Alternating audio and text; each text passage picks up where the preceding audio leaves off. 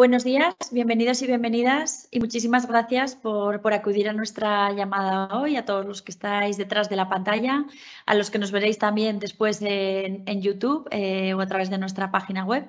Bienvenidos a, bueno, a, este, a este evento que, hoy eh, estamos eh, desarrollando en CEI Aragón de manera virtual y además es un evento que es, va a ser una doble sesión eh, para empresas innovadoras. Comenzaremos en primer lugar con una píldora financiera en colaboración con la Empresa Nacional de Innovación, con ENISA, en la cual vamos a conocer sus líneas de financiación orientadas a apoyar proyectos viables e innovadores, eh, ya sean de reciente creación o consolidados. Y a continuación conoceremos de la mano de CaixaBank a través de Day One los premios Emprende 21 convocados por el Ministerio de Industria, Comercio y Turismo a través de NISA también y de CaixaBank a través de, su, división Day One, que es una división especializada en empresas tecnológicas y eh, sus inversores y dirigidos a empresas de menos de tres años de vida. En primer lugar, eh, como no puede ser de otra manera, quería agradecer a Alberto Moratiel de NISA, nuestro ponente de NISA, y también a Carlos Lacosta, director de Diguan Ebro, por su asistencia hoy, porque van a ser nuestros ponentes. Y bueno, pues eh, además justo estábamos hablando ahora detrás de la pantalla justo antes de empezar, bueno, de lo, de lo cargada que está la agenda ¿no? de eventos. Así que doble agradecimiento tanto a los ponentes como a los que nos estáis escuchando desde vuestras oficinas o desde vuestras casas. ENISA presta apoyo financiero a pequeñas y medianas empresas que quieren impulsar sus proyectos de emprendimiento innovador. Los proyectos viables e innovadores pueden utilizar esta herramienta de ENISA como una alternativa que les permite pues, diversificar sus fuentes de financiación. Se trata, por tanto, pues, de una opción em, complementaria a otras fuentes de financiación, tanto públicas como privadas. Eh, también deciros que esta, esta, jornada de hoy está enmarcada dentro de eh, nuestra línea de píldoras de financiación de la innovación, concretamente es la decimosegunda, eh, y las organizamos desde CEI Aragón eh, desde julio de 2020, ya hace más de dos años, y gracias a la cual se ha informado a más de 750 empresas sobre eh, diferentes líneas de financiación disponibles, pues tanto de CDTI, de NISA, con la que ya hemos hecho alguna píldora más, de SODIAR, también de impresión privada, de financiación privada, y de otras formas de financiación alternativas, como puede ser la tokenización de activos con blockchain o el mecenazgo tecnológico. Por parte de y Aragón y dentro de nuestros servicios Crece de desarrollo de proyectos empresariales innovadores, ya sabéis que asesoramos a emprendedores y a startups sobre las mejores vías de financiación pública y privada para proyectos empresariales con un equipo de expertos como Concepción Ramos, que moderará después eh, el debate posterior que seguirá a nuestros ponentes que atesoran pues, más de 20 años de experiencia. Nuestro ponente de hoy es Alberto Moratiel, como ya os comentaba. Él es licenciado en Marketing y MBA en Gestión de Empresas. Actualmente gestiona y coordina la participación de ENISA desde el área de promoción y relaciones institucionales. Eh, en actividades destinadas a fomentar la difusión de sus líneas de financiación en proyectos empresariales viables e innovadores, haciendo especial énfasis en jóvenes emprendedores, como seguro que sois eh, los que nos estáis escuchando hoy. Así que adicionalmente imparte clases también en diferentes escuelas de negocio, pues como ESIC, ICEM o EOI. Os recuerdo también que tenéis desde ya el chat disponible eh, el cual, eh, bueno, eh, tras, tras vuestras preguntas, moderará o se las hará llegar a nuestros ponentes, moderará este debate posterior mi compañera Concepción Ramos, como ya os he comentado. Y sí que, por favor, os invito a romper la barrera de lo virtual y vamos a intentar, pues eso, pues que con vuestras sugerencias, comentarios, bueno, pues que haya cierto debate, ¿no? Y que no sea tan frío lo digital y podamos, pues, notar un poco que estáis ahí detrás, ese, ese calor humano, ¿no? A través de vuestras preguntas. Y tras esta sesión de preguntas, que, no, espero que surjan muchas, eso significa que, hay mucho interés por, lo que os va a contar nuestro, ponente, eh, tendremos a Carlos Lacosta, que es director de Day One DT Ebro, que explicará en qué consisten los premios Emprende 21 quién puede participar, qué categorías hay y lo que aportan a los participantes finalistas y ganadores. Se trata de la decimosexta edición de estos premios, son unos galardones de referencia en el ecosistema emprendedor y desde CEI Aragón pues siempre intentamos colaborar en la medida de lo posible con ellos porque son pues sin duda unos premios de, gran referencia tanto a nivel eh, Aragón como, como nacional y que bueno que es, que es una gran oportunidad para los emprendedores y emprendedoras de nuestra comunidad. Así que por mi parte nada más. Eh, voy a ceder ya la palabra a nuestro primer ponente, a Alberto Moratiel de NISA. Muchísimas gracias y el escenario es tuyo. Muy bien, muchas gracias Celia por, la presentación, por la invitación. Muchas gracias también a Concepción y a, Belén por, las gestiones anteriores a, esta presentación. Y encantado, Carlos, de compartir nuevamente sesión con vosotros, puesto que bueno, vamos hermanados no solo en los premios, sino en ciertas actividades que nos llevan diariamente. ¿no? Eh, tengo una presentación para compartir sobre lo que es ENISA o los distintos productos financieros que tenemos, con lo cual, si os parece, paso a compartir la pantalla y me indicáis si lo veis. Entiendo que sí.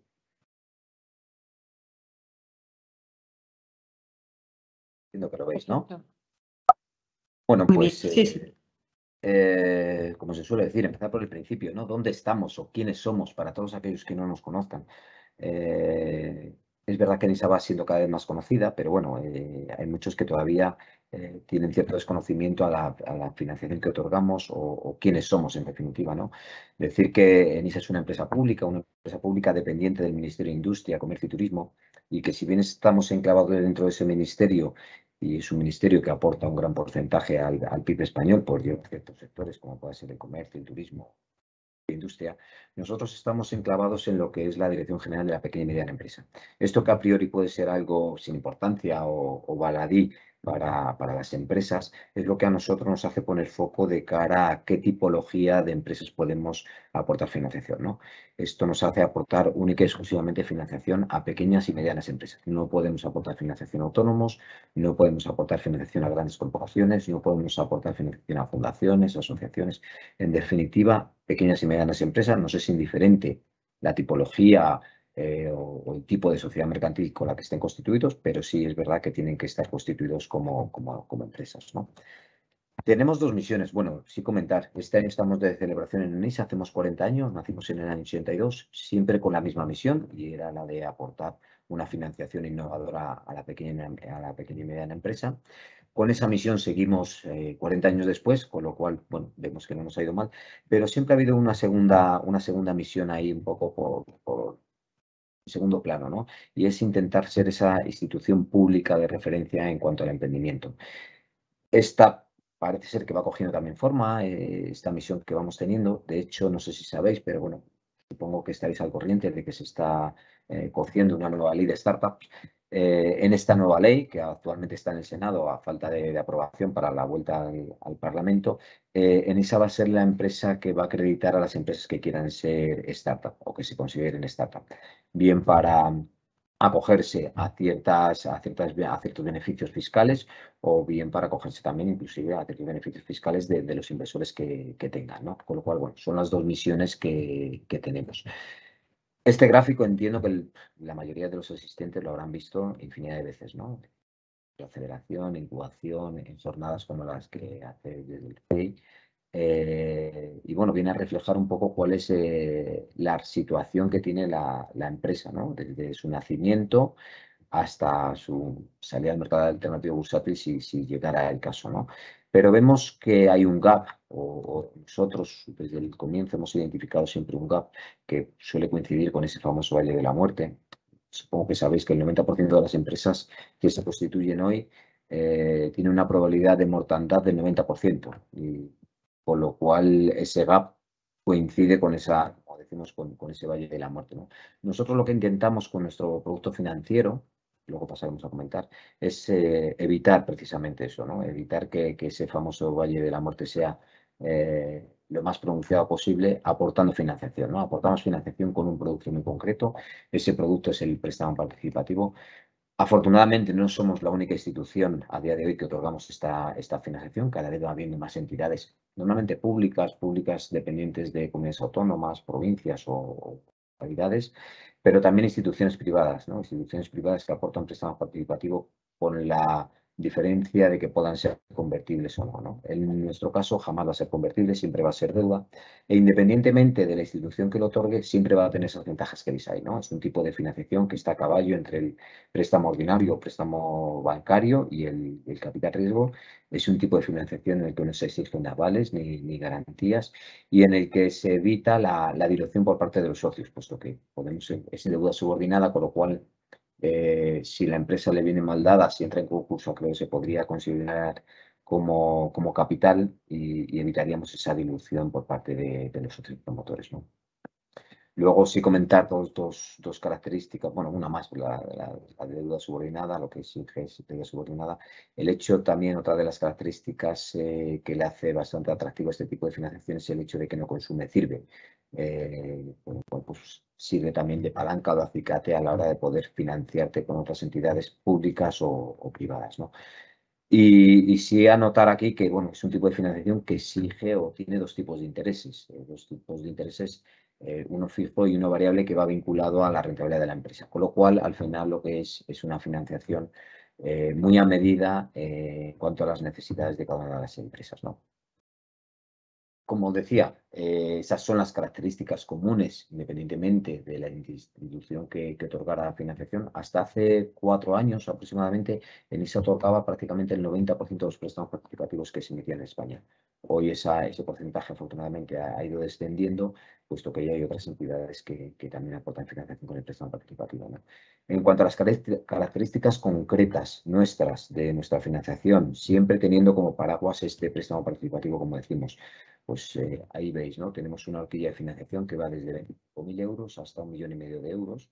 No financiamos proyectos de menores de esas cuantías pero sí financiamos empresas que necesiten más de esa cuantía. Lo que significa esta horquilla es que por cada uno de los préstamos que firmamos con cada entidad no puede ser de ese millón y medio, pero al año siguiente nos puede, puede volver a pedir otra, otra solicitud de otro millón o 500.000 o lo que sea, con lo cual el montante total que destinamos a la empresa esté de ese millón y medio de euros. Como veis ahí tenemos unos largos periodos de vencimiento y carencia, hasta nueve años de vencimiento con siete años de carencia, lo que hace muy atractivo, puesto que al final lo que les estamos dando es un balón de oxígeno a las empresas para que, bueno, a traccionar y a, facturar.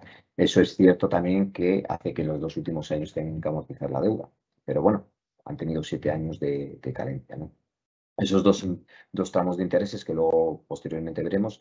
Y sí comentar que financiamos cualquier sector de actividad a excepción de dos el sector inmobiliario y el sector financiero. Y dicho tal cual, o sea, no financiamos empresas cuyo nuestros recursos sean para promover o para construir viviendas y la posterior venta, viviendas o aves o inmuebles, y no financiamos proyectos cuyo, mm, objetivo sea financiar con nuestro dinero terceras entidades o terceras personas, como si fuese un banco. Por contra, si financiamos, pues, por ejemplo, plataformas de crowdfunding o plataformas del sector inmobiliario, que también son del sector, pero no es propiamente dicho de mercado. ¿no? Líneas, líneas que tenemos, bueno, ahí pone 2021, eh, son las líneas que venimos ejerciendo desde el 2021, 22 y 23. Las tres primeras líneas vienen estando con nosotros desde el año 2010, por lo cual tenemos cierta atracción, cierto expertise y cierto conocimiento de, que están funcionando. ¿no? La primera, la que marcamos ahí como uno, es la línea de jóvenes emprendedores. Son para proyectos que tienen menos de dos años de existencia. Nosotros siempre vemos la fecha de constitución de la compañía, no la fecha de inicio de actividad. ¿vale? A veces nos preguntan, oye, constituida hace tres años, pero eh, empezado la actividad ahora. Nosotros miraríamos la fecha de constitución. ¿vale? Requisitos, fecha de constitución de la compañía y luego eh, la mayoría del accionariado, es decir, el 51% tiene que estar en manos de personas de menos de 40 años. Si ese es vuestro caso, pues no, tenéis la línea de jóvenes emprendedores en el que, como veis ahí, la horquilla la reducimos en exceso a esta, esos 75.000 euros, puesto que entendemos que hay excesivo riesgo y que, bueno, para un comienzo las empresas no son tan... Eh, necesitan tanta financiación, ¿no? Si por contra necesitas más, tenemos la línea de, emprendedores. Ahí la empresa también tiene que tener como máximo esos dos años de existencia. Ahí lo elevamos hasta 300.000 euros y eliminamos el requisito de la edad de los promotores. Y por último tenemos la línea de crecimiento en la que no ponemos ningún tipo de requisito en cuanto a la edad de la compañía ni la edad de los promotores, que va de 25 a un millón y medio. Como decimos, estas tres líneas, como veis, eh, son transversales, da igual el sector de actividad, lo único que vemos es el tiempo o, la experiencia que pueden llegar a tener las compañías. ¿no? Son transversales y adicionalmente a esas tres, el pasado año firmamos dos nuevos convenios. Dos nuevos, esas tres líneas proceden del Ministerio de, Industria, que es nuestro patrono y es a, que nos debemos. ¿no? Pero el pasado año firmamos dos nuevos convenios. Uno con el Ministerio de, de Agricultura, por el cual nos dotaron de 30 millones para los ejercicios 21, 22 y 23, es decir, 10 millones de euros por cada periodo. Para financiar con el mismo producto financiero el préstamo participativo y características que luego veremos, pero que coinciden con la línea de crecimiento, para financiar proyectos que se encuentren dentro de la cadena de valor del sector agroalimentario. Si vuestro proyecto se encuentra dentro de la cadena de valor de este sector, pues podréis optar a, esta línea, si bien es verdad que tenéis las otras también que son transversales y podrían cubrir vuestras necesidades. Esta se une también a la línea de emprendedoras digitales. Esta procede del Ministerio de, Economía, Asuntos Económicos y Transición y Transformación Digital, eh, en el que nos han dotado en vez de 30 de 51 millones, es decir, 17 millones por cada uno de los periodos, 21, 22 y 23. Y esto es para proyectos digitales eh, que estén liderados por mujeres o que en el accionariado haya mujeres o que la mujer tenga un papel relevante dentro de la compañía. Si es vuestro caso, pues también tenéis a vuestra disposición esta nueva línea eh, de emprendedoras digitales, como decimos, con las características del préstamo Características concretas de estas dos líneas más la línea de crecimiento. Y ya como veis las que hemos mencionado anteriormente, de 25 al millón y medio de euros. Vencimientos, nueve años y siete carencias. Siempre hablamos de máximo. Siempre hablamos de máximo. Luego dependerá del rating o análisis de la operación la que nos determine los años que podemos aportar de vencimiento, los años que podemos aportar de carencia, el tipo de interés variable que como veis oscila entre el 3 y el 8, e inclusive eh, la cifra. Igual nos pedís una cifra cerrada, son 100.000 euros, 200.000 y nosotros tenemos que aminorar esa cuantía por el excesivo riesgo que puede haber en la, operación. ¿vale? Hasta ahí lo que ofertamos, cinco líneas financieras, las cinco con el mismo producto financiero para que no haya dificultad a la hora de, ver las características que tiene. ¿Y qué pedimos para poder optar a nuestra financiación? Pedimos únicamente cuatro requisitos. Cuatro requisitos que entendemos que el 99% de las empresas españolas o de las pymes españolas lo pueden cumplir. Y el primero es que seáis una pyme. Anteriormente financiamos cualquier, cualquier empresa, da igual la tipología de sociedad mercantil, no financiamos autónomos, no financiamos asociaciones, no financiamos fundaciones, solo y exclusivamente pequeñas y medianas empresas. El segundo requisito es que esté domiciliada en España.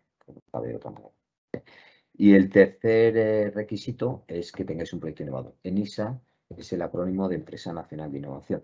Nosotros aquí no solo vemos eh, la innovación desde un punto de vista tecnológico. Es verdad que puede haber eh, innovación desde un punto de vista tecnológico. De hecho, la gran mayoría de las startups la innovación procede de, esa rama, pero se puede innovar en procesos, se puede innovar en productos, se puede innovar en mercados, se puede innovar en aquello que consideréis diferente de lo ya existente y diferente de, la competencia, por así decirlo. Con lo cual, simplemente por el hecho de haber nacido, yo creo que ya habéis identificado en esa propuesta de valor vuestra ese efecto diferenciador o ese efecto innovador.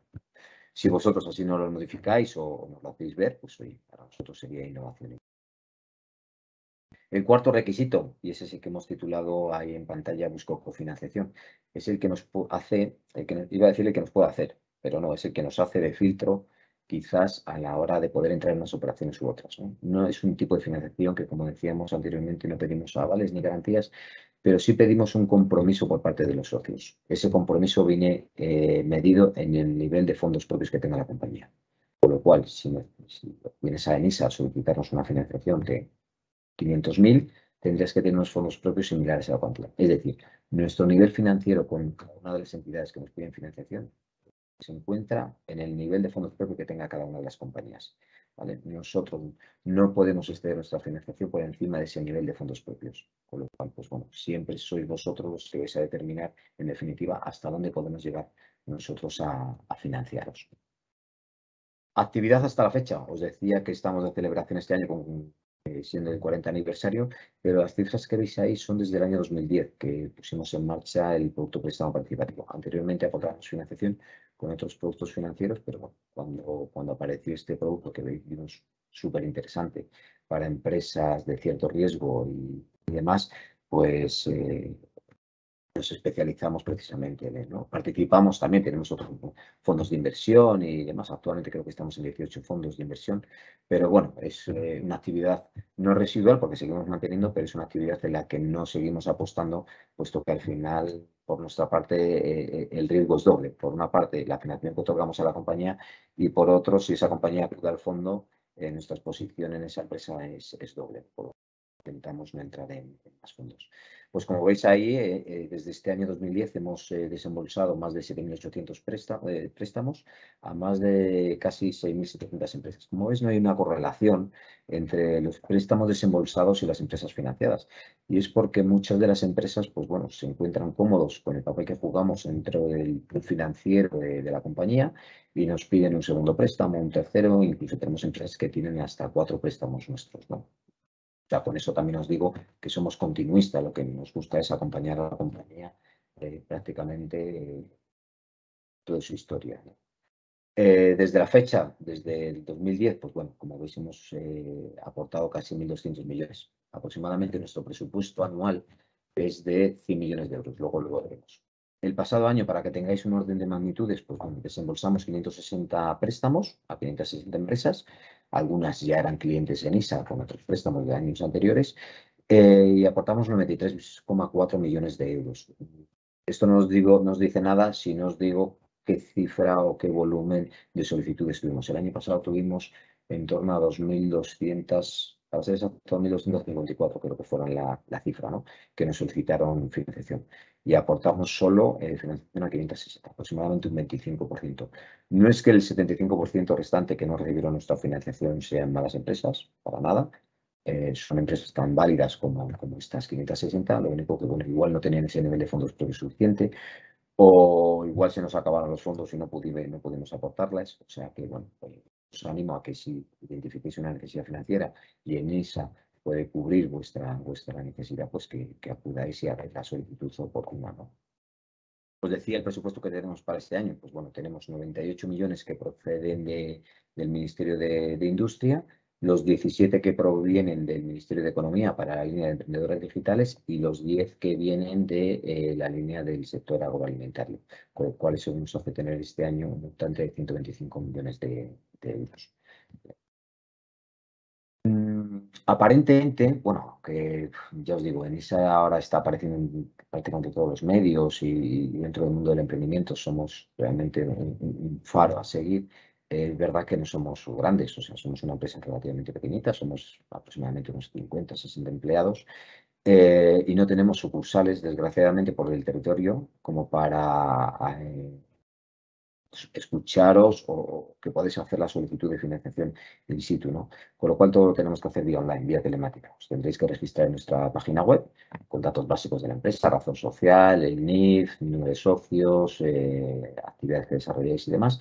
Y a partir de ahí, pues es empezar a complementar un business plan. Un business plan como el que podéis llegar a tener en vuestro cajón, identificando aquellas necesidades financieras y, y plasmándolo eh, una vez nosotros nos hace, tenemos constancia de que habéis enviado esa solicitud con ese business plan, pues eh, pasaría a, una fase intermedia entre el 1 y el 2, que no la tenemos ahí, pero bueno, que, es súper útil para nosotros y para vosotros. Es una fase de admisión en la que chequeamos que toda la información que habéis aportado es, está correcta y, y, que es verdad, ¿no? Y que no os falta ningún tipo de documentación.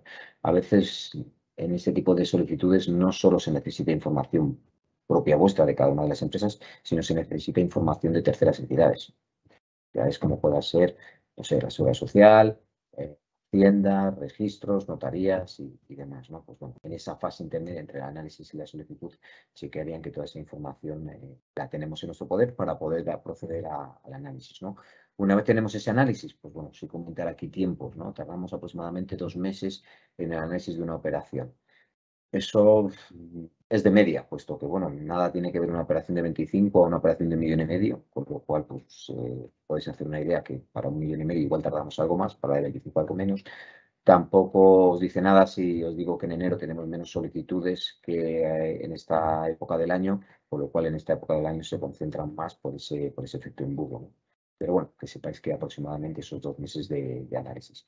Una vez se ha hecho ese análisis y la operación es aprobada, si fuera denegada, se notifica para que podáis subsanar aquello que pueda estar mal y podéis presentar, si, es el caso, otra nueva solicitud. Y si fuera aprobada, pues bueno, la formalización sería directamente aquí en ENISA, lo cual le hace ser financiación alternativa y que nos compute en ese sirve de cara a ese apalancamiento o a esa necesidad financiera que podéis complementar con otras entidades como la Caixa, que luego podemos comentar. ¿no?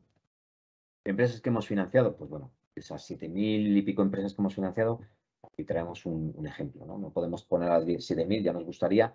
Esta diapositiva la vamos rotando con, nuevos logotipos de nuevas empresas y, y, pensáis, bueno, pues Enisa igual no es mi empresa financiera, puesto que no soy Wallapop, no soy Floret, o no soy Globo, o no soy Cabify.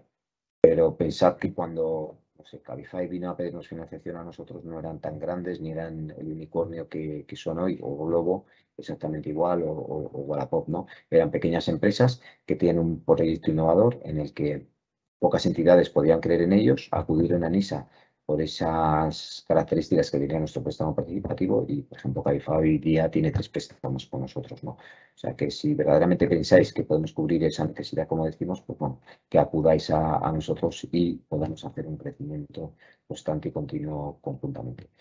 Y yo creo que no tengo nada más. No sé si he ido muy rápido o demás, pero bueno, ahora estaré encantado de que nos trasladéis las preguntas que, que consideréis. Así que agradecer la, de nuevo la jornada y, estar escuchando ahora, Carlos. Pues muchísimas gracias, Alberto. Eh, ha sido muy clara y rápida. Em, eh, bueno, pues eh, gracias a los asistentes por, participar y por estar aquí con nosotros.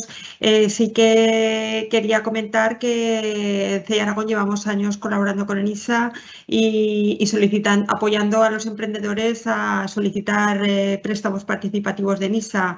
Hemos, em, empresas de CEI Aragón en el pasado pues han pedido de la línea joven, han pedido de el, normal, ¿no? El, el de crecimiento. Eh, eh, incluso eh, ha habido algún préstamo, tengo que decirte, Alberto, de un millón y medio. O sea que, hemos pasado por, por, toda la gama, menos las nuevas, las, las que tenéis ahora nuevas, que obviamente pues esas todavía no. Quizás, quizás, Alberto, es ahora más complicado que hace 15 años conseguir un préstamo en ISA. No es que sea más complicado, es verdad que nosotros tenemos mucha más demanda, con lo cual el, presupuesto viene siendo más o menos el mismo, con lo cual es verdad que reduce las posibilidades. Pero mm, complicado mm, es exactamente igual de fácil o igual de complicado, depende cómo lo queramos ver, ¿no? O sea, pedimos los mismos requisitos, los mismos formularios han ido cambiando un poco, eh, haciendo un poco más eh, esa experiencia de usuario, la plataforma, pero no suele ser complicado, o al menos no nos trasladan que es complicado conseguirlo. Ya, no, no me refería... No me refería, perdón, al proceso en sí, sino a, lo que una vez que lo presentas, el, hecho de que lo concedáis, ¿no? De que. Pues bueno, ya es lo que te digo, al final, ah, pues mira, en, los inicios teníamos igual mil solicitudes y ahora las estamos duplicando, con lo cual, pues bueno, puede ser más complejo. Un poco más difícil. Muy bien, pues eh, si te parece te, voy a hacer algunas, algunas preguntas por aclarar un poco más el, instrumento. Has comentado que financiáis cualquier sector menos el inmobiliario y el, y el financiero, eh, pero eh, ¿priorizáis alguno a la hora de analizar y seleccionar? ¿No?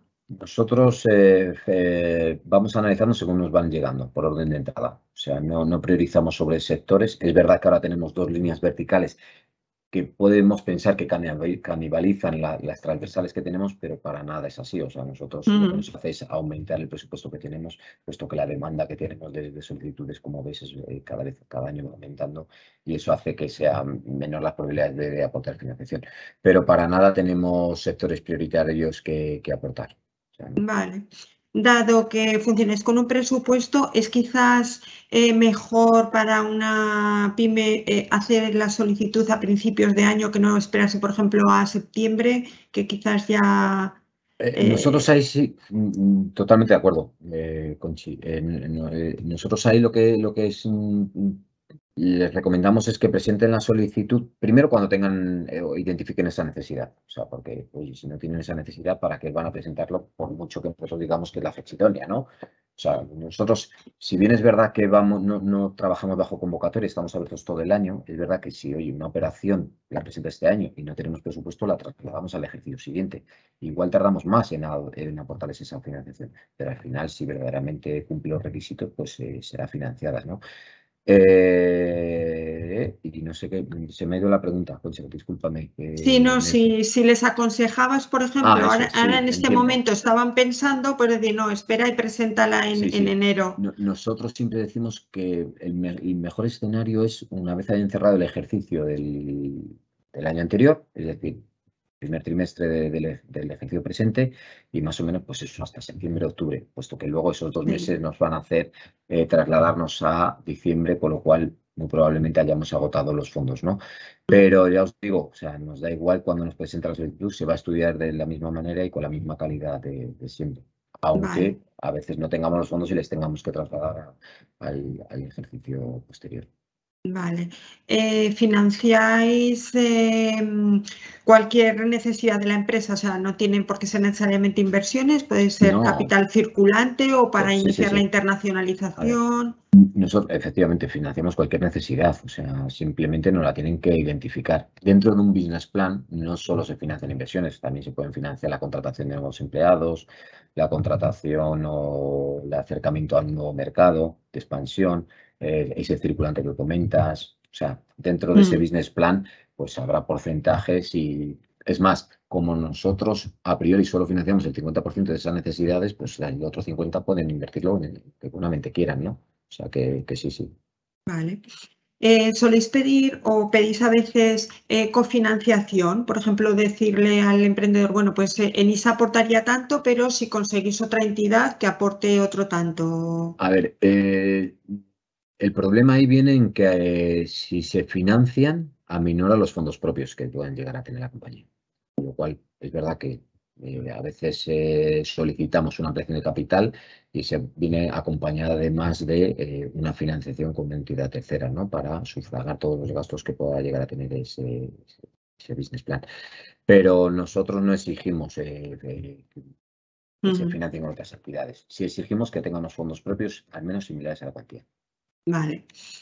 Em, bueno, ¿hay alguna incompatibilidad eh, relacionada con la financiación? ¿Algo que haga incompatible? Pues, eh, no lo he comentado, pero es verdad esa pregunta que nos la suelen formular en, varios foros. ¿no? Somos compatibles y complementarios con cualquier tipo de, financiación barra inversión, ¿no? O sea, compatibles con la banca privada, eh, compatibles y, complementarios en muchas ocasiones, ¿no? Puesto que al final somos un acicate más eh, para que la entidad que nos solicita pueda acudir a esa entidad bancaria a solicitarle, puesto que tiene el respaldo de una deuda subordinada y, demás, ¿no? Compatibles y complementarios inclusive también con otras entidades públicas, ¿no? Ya sea CEDEPI o, instituciones eh, locales, ¿no? Es un tipo de, no es ayuda, es financiación, con lo cual tampoco consume minimis, en ese sentido, pues soy abierto también a, que, que, nos usen en, esa mm. necesidad que identifiquen, ¿no? Muy bien. Nos, pregunta, eh, nos preguntaban también eh, por, la, eh, si, por ver la forma clara en la que se devuelve ese préstamo. O sea, una, una vez que acaba esa cadencia.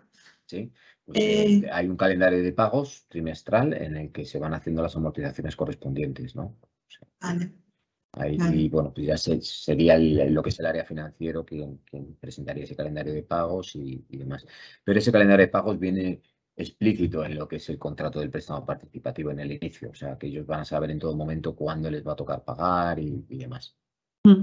¿Tienes los datos por regiones? ¿Sabes cuántos proyectos en eh, Aragón se aprobaron en el 2000? Pues, te lo, te lo, puedo mirar. Ahora mismo no la tengo aquí, pero te lo puedo mirar. Si me das dos minutos, te lo miro. Era simplemente por... Sí, sí, sí, sí, no te preocupes, pero te lo miro. Tardó...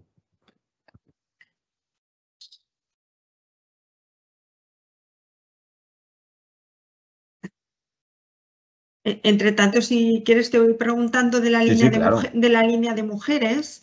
Eh, emprendedoras eh, digitales, eh, tiene que haber un porcentaje mínimo o podría ser, por ejemplo, una empresa que tiene una CEO que es mujer, aunque el resto de socios sean hombres. A ver, puede ser, en, ese caso que nos comentas, puede ser, puesto que tiene un papel relevante la mujer.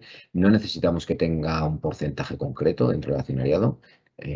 Sí que tenga un papel, pues eso, relevante, no solo en el accionariado, lo puede tener dentro de la compañía como miembro del comité de dirección y, demás. O sea, lo que sí tiene que ser palpable es que existen o, que hay mujeres con, con cierto, decimos, cierto papel. Vale, no lo, decía también en comparación a otras líneas que han salido por ahí que sí que, pedían que hubiera un 51% de, del capital que estuviera con mujeres, pero el, el, caso no es este. El CDT no, el CDT ya saca, saca, una línea de Neotec para mujeres eh, que exigían eh, esa característica que comentas. Vale. mira, los datos de, Aragón que me comentabas. Mira, eh, Aragón en ese sentido ocupa la octava plaza en cuanto a ah. comunidades autónomas, ¿vale? Y desde el año 95 hasta el 2002 hemos eh, aportado más de 31 millones de euros a 182 operaciones. Muy bien.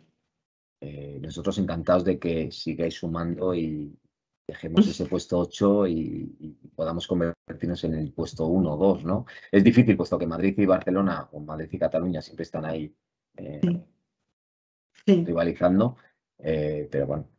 Sí nosotros encantados de, seguir sumando y aportando a, la, empresa aragonesa. Muy bien. Nos preguntan también si la concesión de la, en, la, en la concesión de la financiación puntúa tanto el proyecto en sí como la finalidad de la, de la financiación. Mira, nosotros en el análisis, eh, son temas un poco más técnicos y no he entrado porque tampoco quería alargar la exposición en exceso. Nosotros en análisis eh, no solo hacemos un análisis financiero, puesto que ese tenemos que hacerle sí o sí a, la aportada financiación. tenemos que ver las cantidades de pérdidas y ganancias, eh, los balances, los ratios de solvencia y demás, eso es inevitable.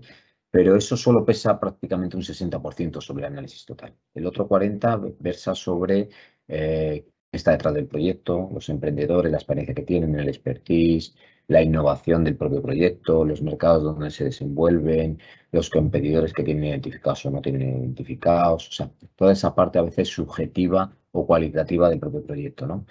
Eh, eso se analiza, tangenciabiliza y son lo que nos determina el rating ¿no? o, el nivel de riesgo que nosotros podemos tener con cada una de esas compañías. Y ese rating será la postre el que va a determinar la cuantía que podamos otorgar, los años de vencimiento, los años de carencia, el tipo de interés variable y demás. Vale. Eh, dos preguntas más. Em, si, eh, alguien presenta un proyecto o una línea y vosotros veis que podría encajar mejor por otra, ¿lo redirigís o no? Sí, sí. Eh, internamente nosotros lo hacemos, lo que pasa es que les tenemos que mandar un documento que nos tienen que firmar si quisieran pasarse esa línea, puesto que nosotros no podemos hacerlo de mutuo propio, ¿no? O sea, tienen que ser ellos, pero eh, con la. Nosotros somos los que les indicamos, oye, sí. te vemos más eh, aconsejable que lo presentes por esta otra línea, bien porque igual han acabado los fondos o bien porque veamos que es una línea o un proyecto muy, muy cercano a las dos líneas verticales que tenemos, ¿no? O más ventajoso. Imagínate que una empresa nos presenta una línea por la línea de crecimiento y vemos que es más ventajoso por la línea de jóvenes emprendedores porque ahí es verdad que me he comentado que los fondos eh, los aminoramos el 50%. Es el único, la única línea en la que no vamos igual cuantía en cuanto a fondos, sino que los aminoramos el 50%. Por lo cual, si vemos que es más ventajoso o hay más fondos o más, pues nosotros lo notificamos, nos tienen que firmar un documento como que aceptan esa, esa propuesta y no pasaría nada. Muy bien.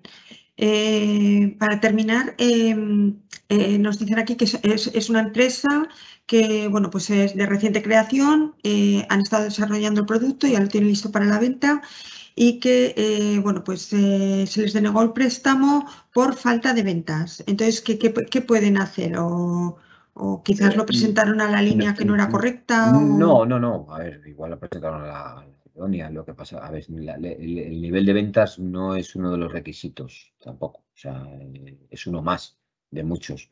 ¿Vale?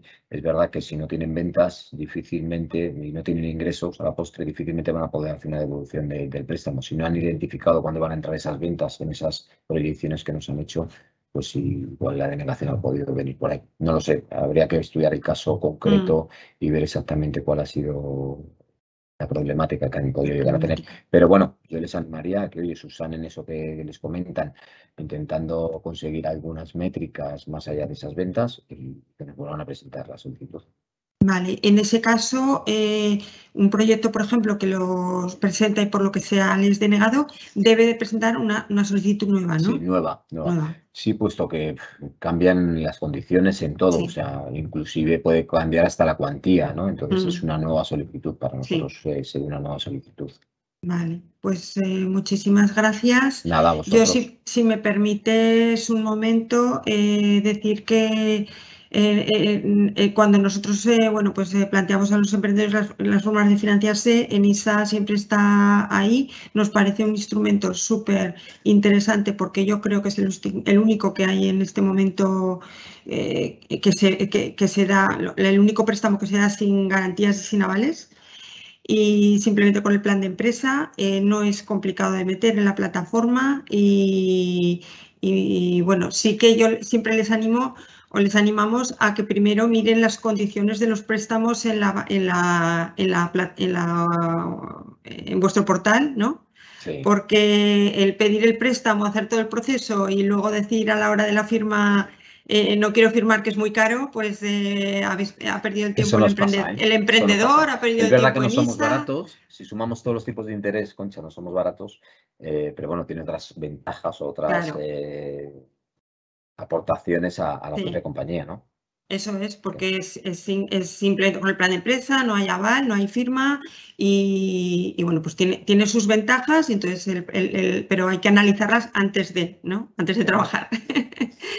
Muy bien, pues muchísimas gracias, Alberto. Pues os tengo que dejar porque tengo que acudir a una reunión interna, así que de acuerdo. muchas gracias. Carlos, que vaya bien y nos vemos. Eh, Celia, Belén. Muy bien. Bueno, antes, antes de que te vayas, Alberto, una postilla por cerrar este tema. Eh, yo creo que los emprendedores tienen que valorar eh, que cuando estudian un préstamo en ISA, realmente la alternativa es ceder capital.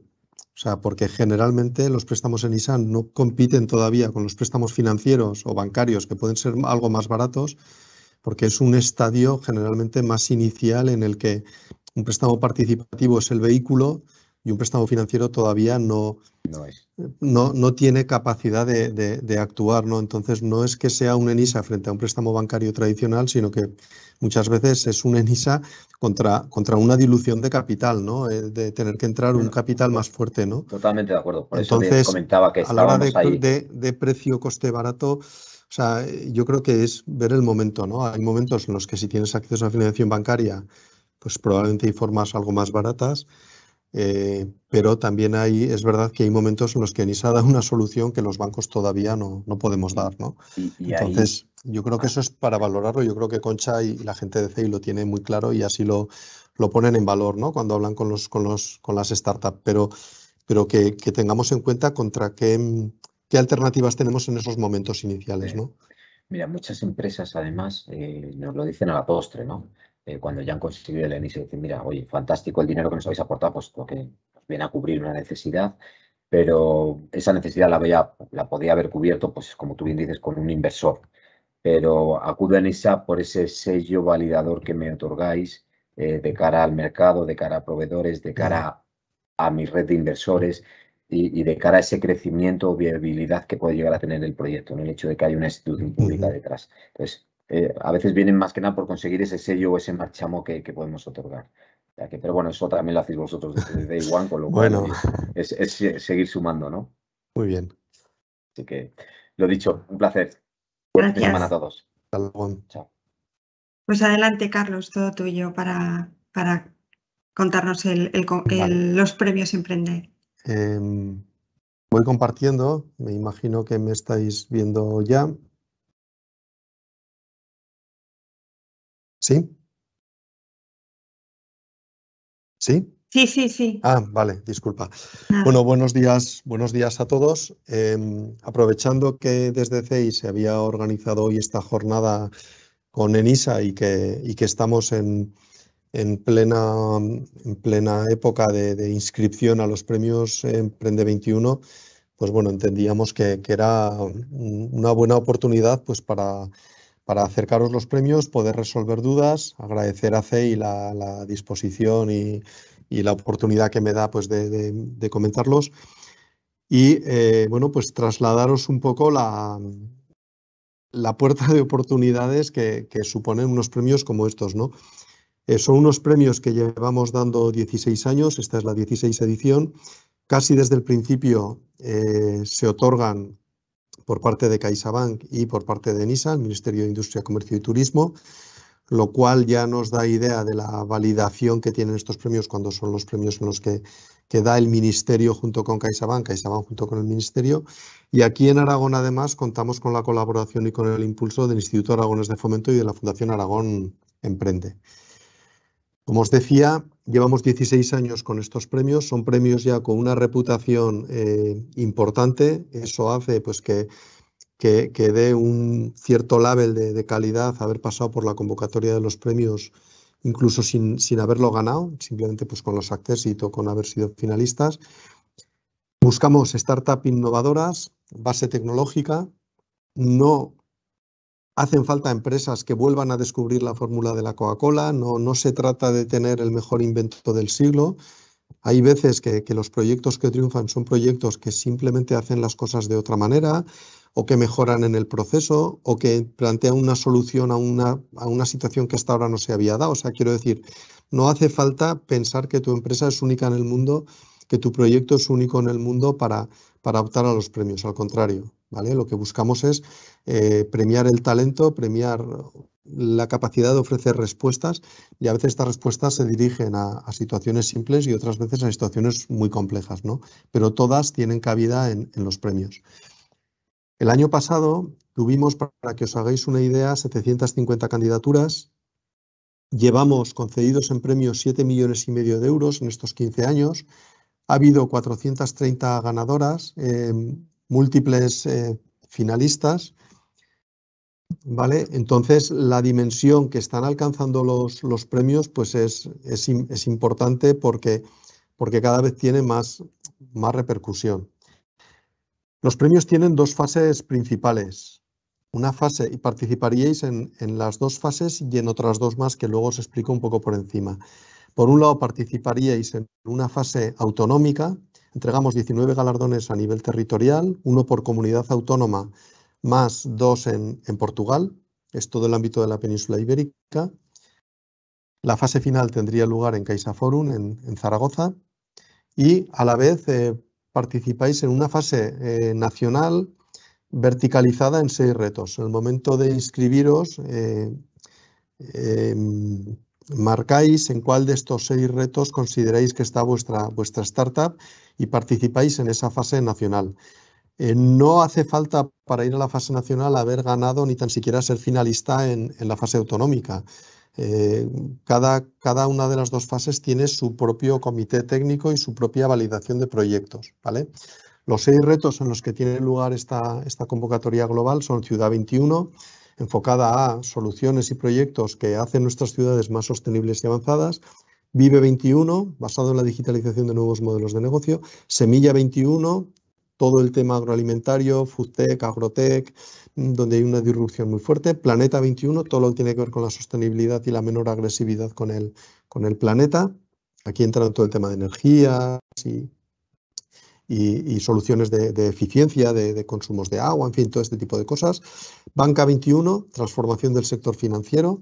A fin de cuentas somos un banco y todo el tema de las fintech, digitech, todo este tipo de cosas nos están afectando muy mucho y tenemos un interés muy especial en, seguir progresando como entidad de, bueno, de, la mano de, estos proyectos.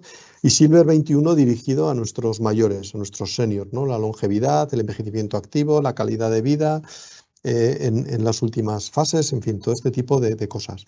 Además, como os decía, también por el hecho de participar, hay dos, premios más en los que también concurrís. Uno que otorga la Embajada de Israel en España directamente. Nosotros ahí somos su instrumento, pero nuestra inscripción, nuestra, nuestro, nuestro proceso les sirve a ellos y ellos dan su propio premio. Además es el de mayor cuantía económica. Y luego hay otro, otro premio basado en tecnología Deep Tech, porque quedaba fuera de todos estos retos eh, es verdad que en, ciertos momentos de los jurados, pues la visibilidad, el entendimiento de esos proyectos costaba mucho, entonces los sacamos de todas las fases y van por su cuenta porque ahí la, el conocimiento técnico para validar los buenos proyectos, que además son proyectos muy importantes, pues bueno, hacía falta mucha especialización. Entonces, son cuatro las fases en las que podéis eh, participar, ¿vale? La autonómica, la de retos, son las dos principales, es cierto, y la, de la Embajada de Israel y la de DeepTech. ¿Cuál es el, bueno, los premios? Hay, el premio se compone de dos partes. Hay una pecuniaria, en la fase autonómica 6.000 euros, en la fase de retos 20.000. Eh, decimos que se pueden ganar hasta 50.000 euros, pues porque se pueden acumular los premios. Realmente una empresa podría ganar los cuatro premios, no, no, no es impedimento haber ganado uno para poder ganar alguno de los otros. Pero eh, en donde más ímpetu hacemos es en, la calidad del, del, premio, del reconocimiento, ¿vale? En el Qualitas. ¿Por qué? Porque además de esa cuantía económica de 6.000 y 20.000 para la fase autonómica y de retos, eh, contemplamos un itinerario de formativo eh, desarrollado este año en Múnich de la mano de ESADE, en el que, además de dar una formación mm, con, con, ESADE, hemos diseñado con ellos el itinerario informativo, además de dar una capacitación y una formación, lo hacemos en un hub de innovación eh, importante, en tiempos fue Silicon Valley, hemos estado en Estonia, el año pasado ya fuimos a Múnich, este año volvemos a Múnich. ¿Por qué a Múnich? Pues porque es la ciudad europea con mayor eh, número de unicornios identificados. El año pasado tenía 11 unicornios identificados en, en, sus viveros. ¿vale? Entonces, una vez allí, además de la formación, hay em, puntos de encuentro con emprendedores alemanes, con estas grandes eh, empresas, con estos grandes proyectos. Hay también visitas a alguna corporate importante de la famosa tecnología alemana. Entonces, bueno, es una semana eh, muy intensa, muy, muy aprovechada y de una satisfacción muy, muy alta, tanto por el punto de relación con otros ganadores de otras comunidades autónomas o de las fases, que ya te da un, espacio en el ecosistema importante, como por todo lo que ves y conoces y experimentas en un sitio como, como Múnich en este caso. Además, eh, también te permite la participación en el Investor Day Emprende 21. ¿Qué hacemos? Bueno, ofrecemos vuestros proyectos a inversores cualificados, a capital riesgo, a venture capital, a venture debt, eh, que tienen interés en invertir y organizamos eh, rondas de contactos para que os conozcan y para que vosotros los conozcáis. Puede ser incluso que tú no tengas interés en ser invertido, pero os aseguro que estos encuentros con, gente tan, tan de nivel, suma y suma un montón y, bueno, y también os da un plus de, bueno, de aprender a manejaros en, esa situación. También participáis en el programa de One Open Innovation como corporate, como, gran entidad, tenemos nuestro propio proceso de Open Innovation abierto. En estos procesos proponemos retos en varios aspectos concretos, en, Agrobank, en, en, toda nuestra propuesta de valor para la gente mayor, para los seniors, en Vida Caixa, y también en FinTech y Digitech tenemos varios, dos programas de Open Innovation abiertos en el que buscamos soluciones que nos permitan tanto mejorar nuestros procesos como mejorar nuestro catálogo de productos y servicios. Entonces, eh, participar en esos procesos en el que os vamos a plantear un reto, al ganador se le plantea un reto que podamos incorporar a, nuestro, a nuestra empresa, a nuestro o proceso o producto o servicio, pues, pues también tiene un plus de valor y además acceso a toda la comunidad alumni en la que están todos los participantes en los premios Emprende en estos 15 años. Allí hay un, ecosistema vivo, hay una relación, hay, un, hay una, comunidad viva en la que hay interacción, en la que se proponen eventos, se proponen encuentros.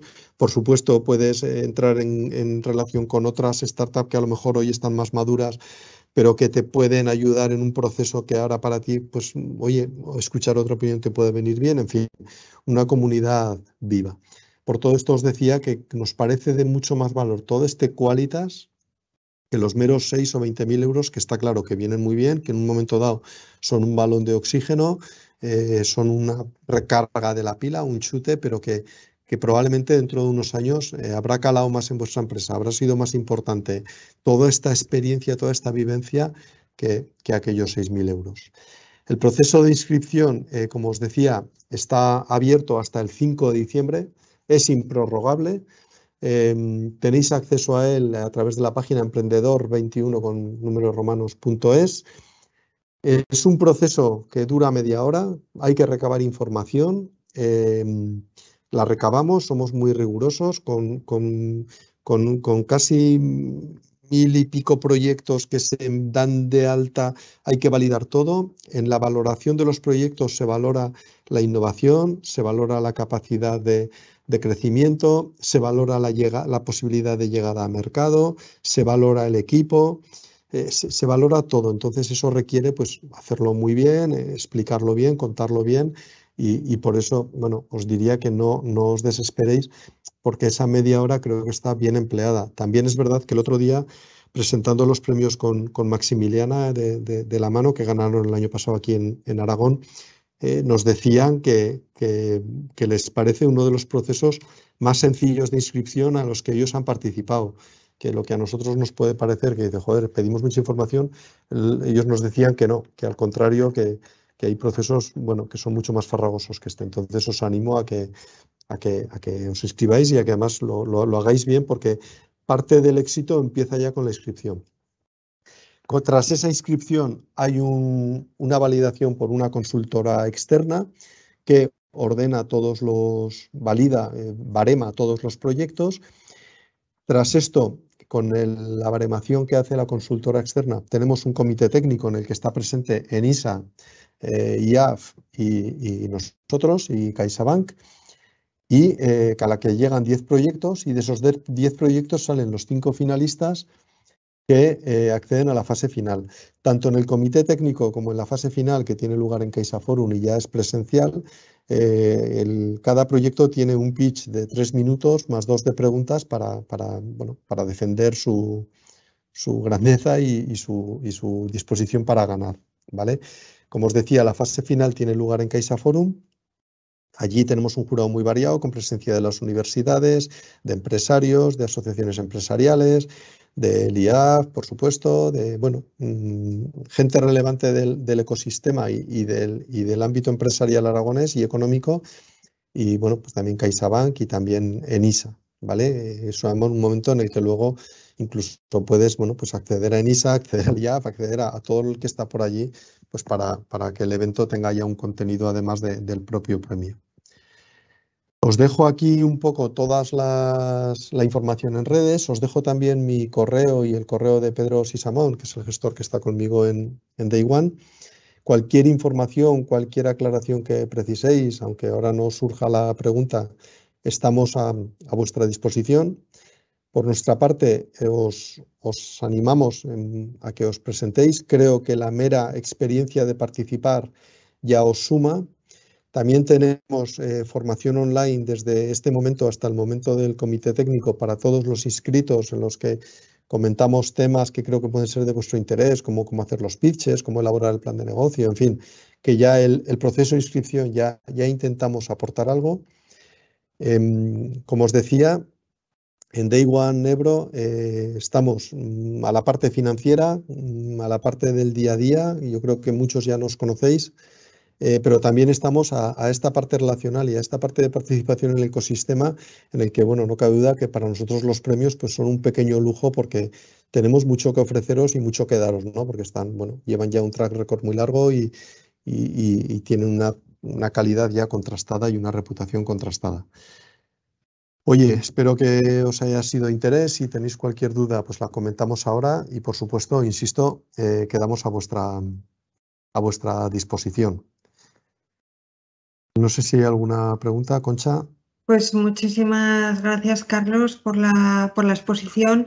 Eh, nosotros estamos animando a los, a los proyectos eh, que encajáis dentro de las bases a presentaros a, los premios porque, bueno, pues al final los premios son una forma de conseguir mm, mucha visibilidad, conseguir algo de un poco de financiación, pero sobre todo esa oportunidad que ha comentado Carlos, pues de, participar en esa formación, en esos, eh, bueno, pues esa formación de calidad en esos lugares tan fantásticos que, que, buscáis y sobre todo también el networking que se hace ¿no? en, esas, en esos eh, eh, bueno, pues, eh, lugares de encuentro ¿no? con otros em, emprendedores de otros lugares también, que, bueno, pues que aunque sean pues, a lo mejor con proyectos diferentes al, a, los, a los nuestros, a los vuestros, pues sí que bueno, pues, se encuentra con las mismas problemáticas y bueno, pues se pueden compartir experiencias. ¿no? Y no, no, no entran preguntas en concreto, eh, pero eh, desde CEI Aragón eh, estamos abiertos bueno, pues a resolver cualquier duda o, también a, pues a trasladárosla y bueno, pues a apoyar a los, los, proyectos de la comunidad que se quieran presentar, a darles ese apoyo, tanto para lo que es la preparación de la, de la propia convocatoria, como luego, pues si consiguen ser seleccionados, pues para preparar esos pitches ¿no? que hay que hacer para, para defender los proyectos. Bueno, una cosilla que se me ha olvidado comentar eh, los proyectos que se hayan presentado otros años se pueden volver a, presentar, ¿vale? Es cierto que a veces haber concurrido una vez y que no te haya ido bien, pues desanima.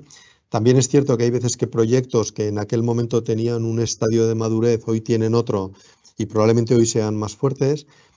También nos ocurre, y el año pasado nos pasó aquí en Aragón, pues que un proyecto que ni siquiera había llegado a la fase final autonómica, luego estaba en la fase final de retos, porque en ese vertical concreto, aunque aquí por lo que sea había habido proyectos que tenían un poco más de, visibilidad, luego cuando vas a ese vertical en concreto resulta que a nivel de toda España, el tuyo es una de las... Entonces, bueno, eh, gente que a lo mejor ha concurrido a la fase autonómica y dice, venga, quiero ir a la de retos porque, porque quiero estar allá. Eh, dos comentarios también que me he dejado. Uno, eh, caben todas las empresas que hayan iniciado su actividad a partir de enero del 2019. Con lo cual, aunque decimos que son tres años de antigüedad, realmente estamos sumando casi cuatro porque estamos ya en noviembre del 2022. Entonces, eh, son casi cuatro años de antigüedad. Inicio de actividad es o constitución o alta en actividad económica, la, la fecha posterior, la, la, más tardía de las dos, ¿vale?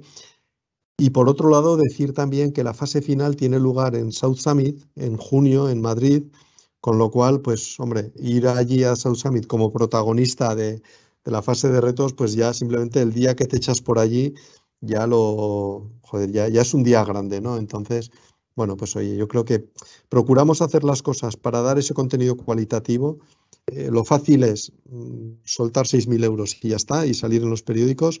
Lo que procuramos es ir de la mano vuestra, ir sumando, ir un poco día a día, hacer de la participación proceso. Ya con la inscripción ya empiezas a poder participar en sesiones online.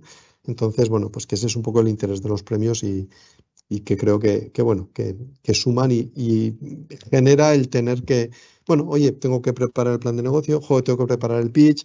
Esos pitches son súper importantes. A veces la misma idea vendida de dos maneras distintas una triunfa y la otra no. Y dices, sí es lo mismo ya, pero también hay que tener un punto de, vitalidad y de chispa y energía para... Bueno, en fin, que, creo que, puede ser una experiencia satisfactoria y que os animamos a todos a que, a que os presentéis. ¿Vale? Muy bien, gracias. Pues eh, paso, pasamos a, Celia eh, para que despida el evento.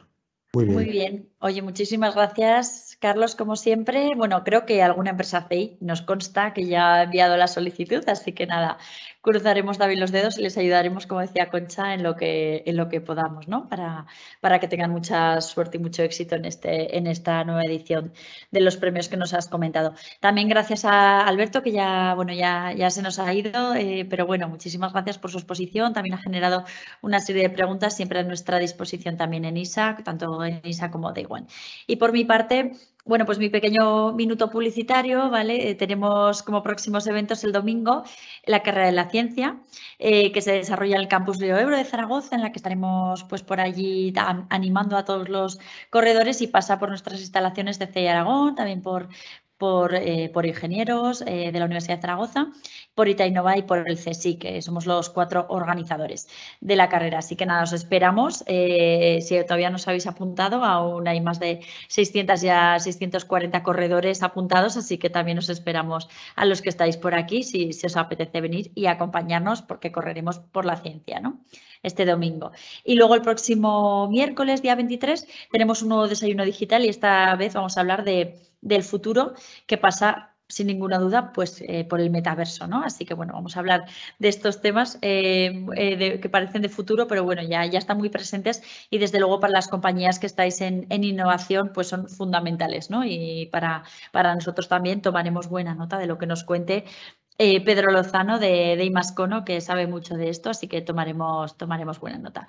Y también tendremos a, a la empresa eh, Dive Medical, eh, que creo además que, creo que también estuvo por ahí en alguno de estos premios, ¿no? que, sí, fue la, fue la ganadora, fue la ganadora del año 2021. Así que también la tenemos por ahí contándonos, contándonos su empresa y su experiencia. Por mi parte, nada más. Como es viernes, aprovecho para desearos a todos un buen fin de semana y, nada, y nos esperamos en el próximo evento. Muchísimas gracias por estar siempre allí. Chao. Bueno, hasta luego.